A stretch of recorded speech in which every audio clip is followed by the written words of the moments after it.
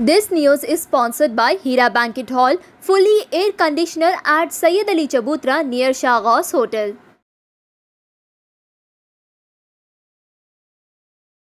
असलम नाजरीन आप सबका खैर मकदम है ए एटीन तेलंगाना न्यूज़ पर। आज दूसरी सितंबर थर्सडे का दिन है। आई नाजरीन देखते हैं इंटरनेशनल और नेशनल के खास खबरें। बहुत ही अफसोसनाक खबर सामने आ रही है। एक्टर और Bigg Boss thirteen winner Siddharth Shukla की आज मौत हो गई आज सुबह। कूपर हॉस्पिटल के ऑफिशियल्स ने कहा कि उन्हें 40 साल की उम्र में मैसिव हार्ट अटैक यानी दिल का दौरा आया था। उनकी माँ और उनकी दोनों बहनों ने फ़ौरन सिद्धार्थ शुक्ला को हॉस्पिटल शरीक करवाए, जिसके बाद मालूम हुआ कि हॉस्पिटल में आने से पहले ही उनकी मौत हो गई। ये भी बताया जा रहा है कि सिद्धार्थ शुक्ला सोने से पहले कुछ गोली खाए थे, जिसके बाद वो सुबह नींद से नहीं उठ पाए। सिद्धार्थ शुक्ला एक ऐसी शख्सियत थे जिन्हें सब पसंद करते थे। वो बिग बॉस में शामिल हुए और खिताब जीते। शहनाज गिल के साथ वो डांस दीवाने तीन में शामिल हुए। हमटी शर्मा की दुल्हनिया में उन्होंने रोल अदा किया और आखिरी मरतबा एकता कपूर के show Broken But Beautiful three में दिखाई दिए, जिसमें उन्होंने अगस्तिया का रोल अदा किए। शहनाज गिल और सिद्धार्थ शुक्रा की जोड़ी बहुत मशहूर थी और लोग इन्हें पसंद कर रहे थे। आज सिद्धार्थ शुक्रा की मौत की खबर सुनकर सब लोग सुशांत सिंह राजपूत को भी याद कर रहे हैं। फैंस ने अफसोसी का इजहार किए और उनके लिए दुआएँ की।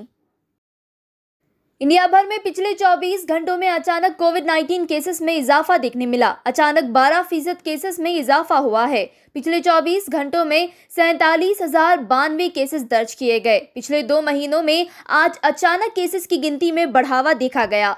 आज इंडिया भर में 509 लोग की मौत वाकई हुई कोविड 19 मुतासरीन की। हेल्थ मिनिस्ट्री ने ऐलान किया। न्यूयॉर्क में तेज तूफानी मौसम के चलते New York city mayor Bill de Blasio ने स्टेट इमरजेंसी ऐलान करने कहा, जिसके बाद न्यूयॉर्क गवर्नर काती होचुल ने आज पहला स्टेट इमरजेंसी का ऐलान किया है। न्यूयॉर्क में खराब मौसम के चलते तेज तूफानी बारिश हो रही है। बताया जा रहा है कि अब तक का रिकॉर्ड तोड़ दिया गया है। सैलाब नज़र आ रहे हैं, रोडों के हालात खराब हो रहे हैं और हुरिकेन आइडिया तेज़ी से ईस्ट कोस्ट की जानब बढ़ते हुए नज़र आ रहा है। ड्रग कंट्रोलर जनरल इंडिया ने वेनेसडे के दिन हैदराबाद की बायोलॉजिकल ई लिमिटेड कंपनी को इजाज़त दे दिए हैं फ़ेज़ टू और फ़ेज़ थ्री क्लिनिकल ट्रायल करने एंटी कोविड 19 वैक्सीन के लिए, जिसे कोर्बे वैक्स कहा जा रहा है, जो पाँच साल से 18 साल की उम्र के बच्चों के लिए होगा। West Bengal chief minister Mamata Banerjee ने वेनेसडे के दिन इंडिया के प्राइम मिनिस्टर नरेंद्र मोदी से गुजारिश की कि एलपीजी गैस सिलेंडर की कीमतों को कम करे और आवाम को राहत दे। एलपीजी गैस सिलेंडर और रोज़मर्रा ज़रूरियात की चीज़ों पर कीमतों में इजाफा, ये ख़त बर्दाश्त नहीं किया जाएगा, ममता बनर्जी ने कहा।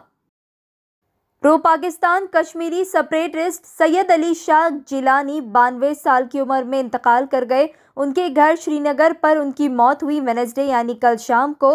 वो एक बेहतरीन इस्लामिक लीडर थे, जो जम्मू कश्मीर की सियासत के लिए आवाज़ उठाए। उन्होंने हाल ही में सियासत और हुरियात से इस्तीफ़ा दिए थे। पिछले साल उनकी आखिरी रसूमात आज सुबह हुई।